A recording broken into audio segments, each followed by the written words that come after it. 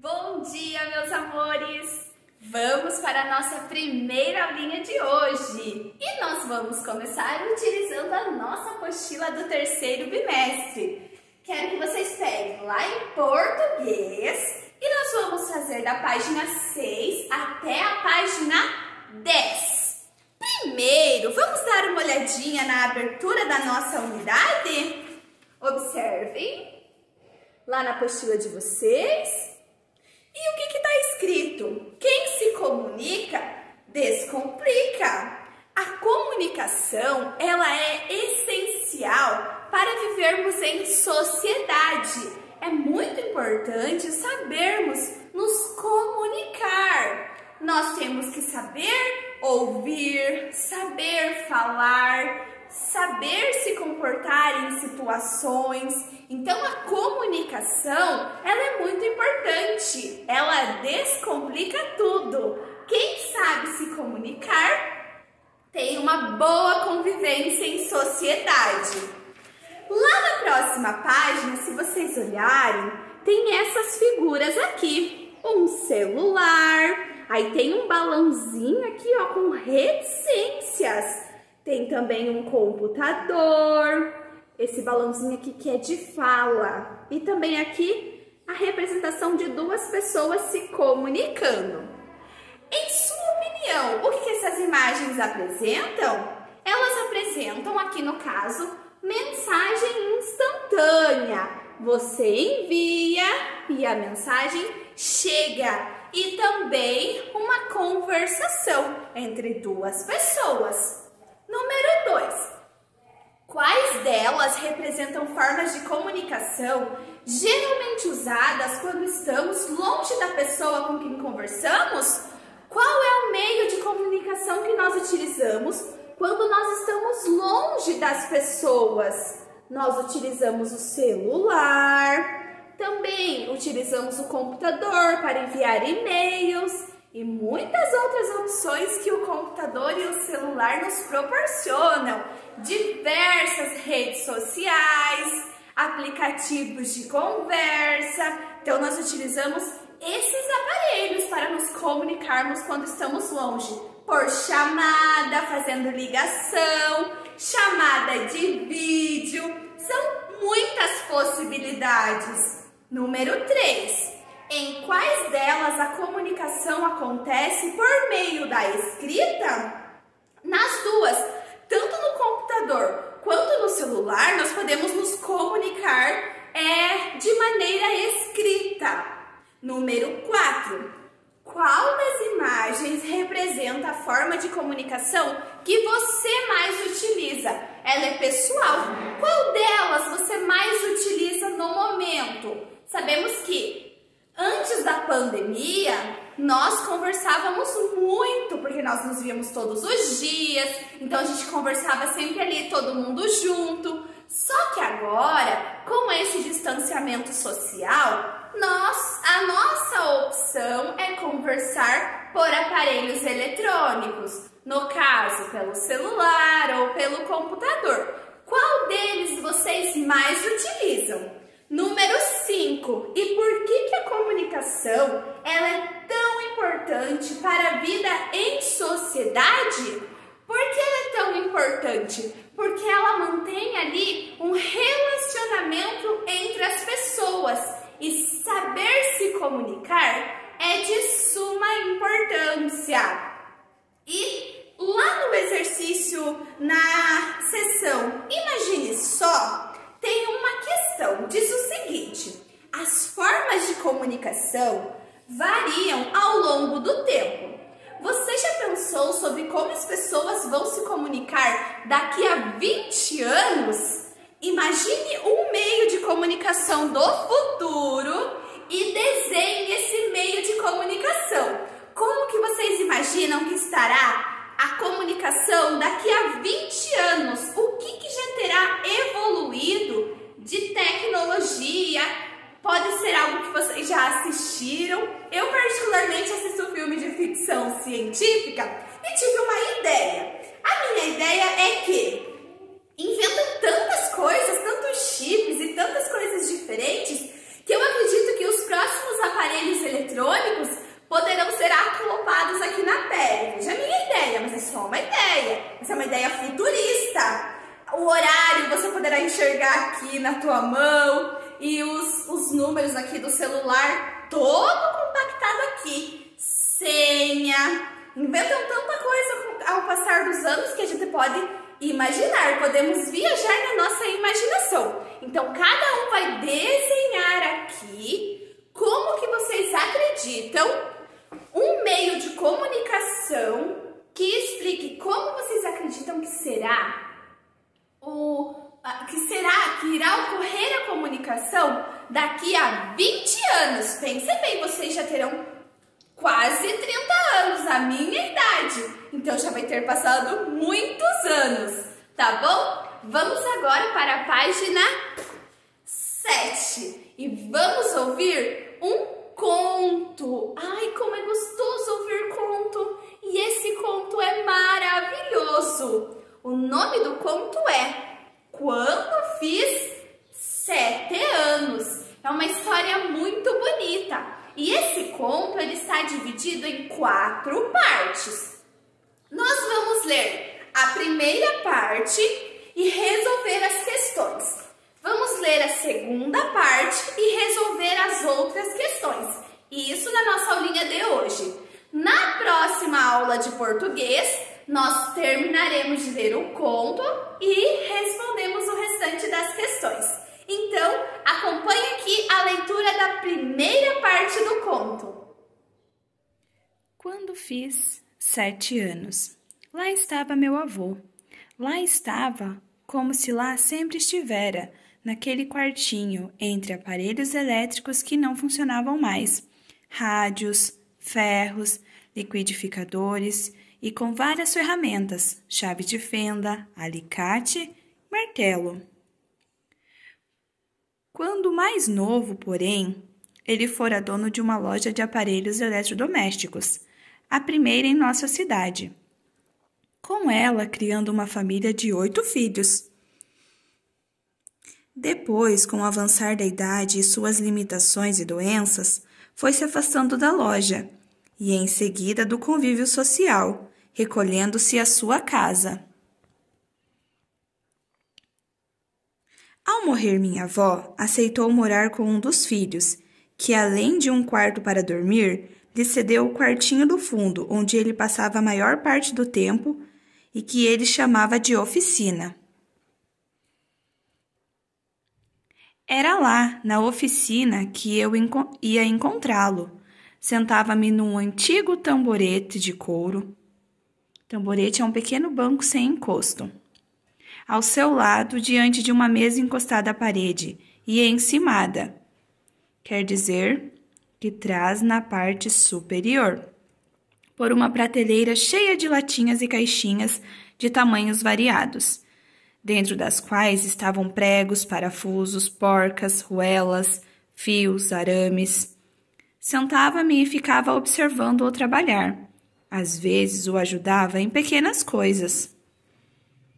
Eu não entendia bem o que ele fazia, nem ele me explicava. Sempre fora de poucas palavras, mas eu percebia, por sua expressão, que ele tinha dificuldade em fazê-lo e que isso o deixava aborrecido. Ele abandonava então, por um momento, o serviço e dava um suspiro fundo, um suspiro de desânimo.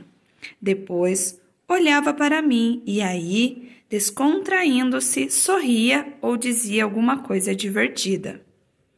Vocês viram o que nos traz essa primeira parte do conto? Ali, o menino que está completando sete anos, ele foi até a oficina do, teu, do seu avô. É, no início, esse avô, ele tinha uma loja e nessa loja ele tinha vários objetos ferramentas, objetos muito interessantes. E o menino, ele gostava de ir lá para ficar com o avô. E esse avô, ele já sozinho, pois a avó já havia morrido, ele foi morar junto com um dos seus filhos e construiu lá perto do quartinho onde ele está morando uma oficina para guardar os seus objetos. Então, ali na história, que personagens aparecem nessa primeira parte? Quem que apareceu nessa primeira parte? O avô e o narrador. Quem é o narrador? É o menino, é o neto. Portanto, ele é um narrador personagem, pois ele participa da história. Então, nessa primeira parte aparece o avô e o narrador. Número 3. O narrador desse conto participa ou não da história? Sim, ele participa. Transcreva um trecho que justifique sua resposta. Vamos transcrever uma fala aqui do menino. Sim, ele participa. Quando ele diz, era lá na oficina que eu ia encontrá-lo. Então ele diz aqui, eu, o narrador eu, participando da história. Nós chamamos esse tipo de narrador de narrador personagem, pois ele participa. Número 4. Releia o trecho a seguir. Quando mais novo, porém, ele fora dono de uma loja de aparelhos eletrodomésticos, a primeira em nossa cidade. Como é, como é, com ela criando uma família de oito filhos. Pergunta: o que quer dizer a expressão destacada? Com ela criando uma família de oito filhos? O que quer dizer essa expressão? Quer dizer que o avô do narrador sustentou, ele trabalhou anos nessa oficina e com o serviço, com o que ele recebia nesse, nessa loja, perdão, não na oficina, na loja de eletrodomésticos, ele conseguiu criar, sustentar oito filhos, sua família de oito filhos, com o que ele lucrava, com seus ganhos, em sua loja de eletrodomésticos. Número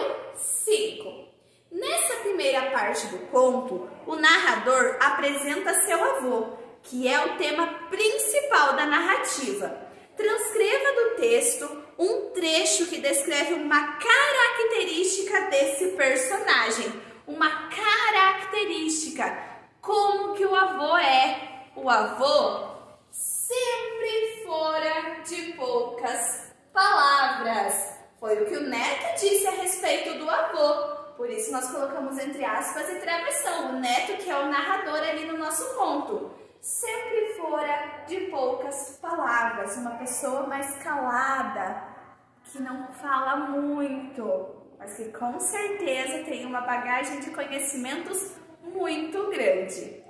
Vamos agora assistir a parte 2 do nosso conto.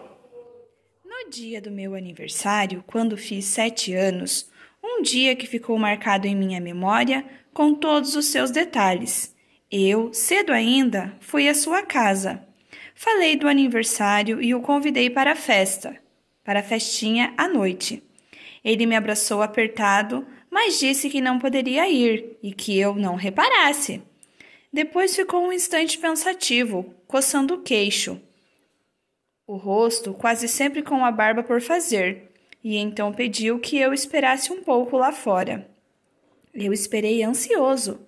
Passados alguns minutos, chamou-me de volta e me entregou um pequeno objeto embrulhado em papel cor-de-rosa, papel que na época se usava para embrulhar tudo, nos armazéns, lojas, padarias e que com o advento plástico atualmente já quase caiu em desuso e amarrado com um barbante, hoje também pelo mesmo motivo, quase peça de museu. Um presentinho de seu avô, disse ele. Eu agradeci e, doido para abrir o embrulho, fui para casa, a três quarteirões dali, voando como um alegre pássaro da manhã. Pai, eu disse, olha aqui, o vô me deu um presente. Fui desamarrar o embrulho, mas não consegui. Entreguei-o a meu pai. Ele também teve dificuldade. Seu avô caprichou, hein? brincou. Deve ser um presente muito bacana. Eu dei uns pulinhos de alegria como costumava fazer essas horas. Finalmente meu pai conseguiu desatar o barbante.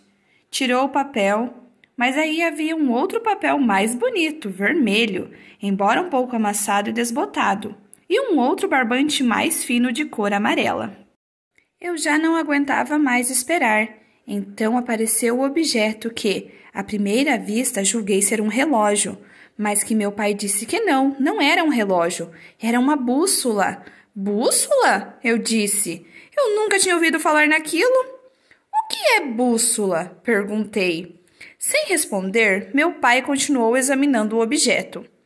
O pai, o papai, disse então, com um sorriso, entre reprovativo e condescendente.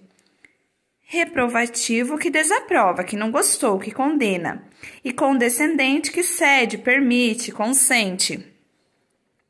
Minha mãe estava perto e se aproximou curiosa, querendo saber o que era. O papai, meu pai, repetiu, no mesmo tom de antes. Ele deu essa bússola para ele. Bússola? Minha mãe não se admirou. Meu pai passou a ela a bússola. Eu ali esperando, sem saber o que era uma bússola e para que a bússola servia, e sem entender aquele sorriso dos dois. Por fim, meu pai me explicou o que era uma bússola e para que ela servia.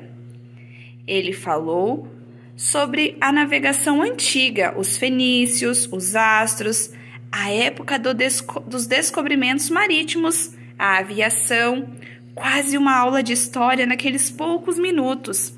Eu já estava empolgado com o meu presente. Então veio o choque, a ducha de água fria. Só que essa aqui, disse meu pai, essa aqui não serve para nada. Por quê? Eu perguntei. Porque ela está estragada. Estragada? Então, o que aconteceu nessa segunda parte do conto?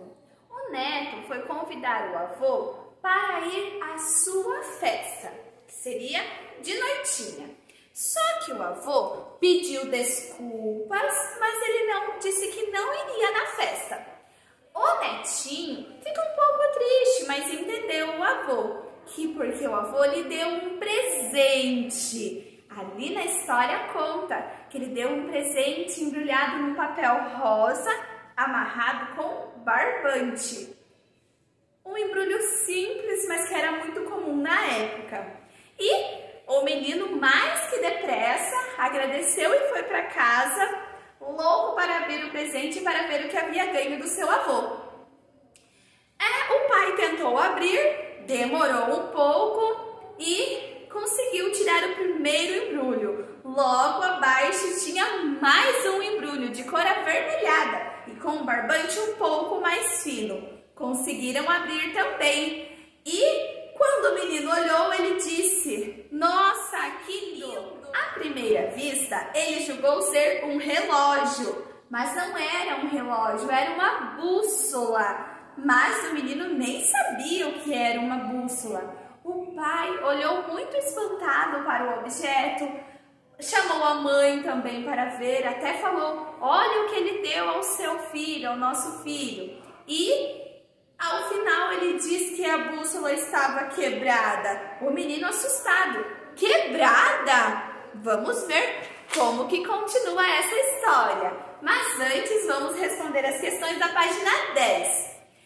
Que convite o narrador foi fazer a seu avô? Que convite? Ele foi convidá-lo à sua festa de aniversário de 7 anos. Esse foi o convite que ele foi fazer lá para o avô dele. Número 8. O avô aceitou o convite? Não, não, não, o avô não aceitou o convite. Copie um trecho do conto que justifique sua resposta. Qual é a parte ali que justifica a resposta? O que o avô disse para não ir ao aniversário? Mas disse que não poderia ir e que eu não reparasse, que eu não me importasse, que não era uma desfeita, ele apenas não iria ir. Número 9. Vamos reler o trecho. Papel que na época se usava para embrulhar tudo, nos armazéns, lojas, padarias, e que, com o advento do plástico, atualmente já quase caiu em desuso. Com o aumento do uso de plástico, é esses papéis já praticamente não são mais usados para embrulhar. Letra A. o que significa a palavra destacada no trecho? Se precisar, consulte um dicionário. O que quer dizer advento, meus amores? Quer dizer vinda, quer dizer chegada. Então, com a chegada do plástico, com a inserção desse plástico no mercado, acabou que o papel foi entrando em desuso. Então, advento quer dizer vinda, chegada. Letra B. Porque, segundo o narrador, os embrulhos de papel caíram em desuso. Por que, que eles caíram em desuso? Porque eles foram substituídos pelas embalagens plásticas. E embalagens plásticas fazem muito mal para o meio ambiente. Elas demoram muito mais tempo para se decompor. Por isso que o aumento do uso no plástico acabou aumentando a poluição aqui do nosso planeta. Número 11. Que objeto estava embrulhado no pacote que o menino recebeu de seu avô? Circule-o! Qual desses objetos representa uma bússola?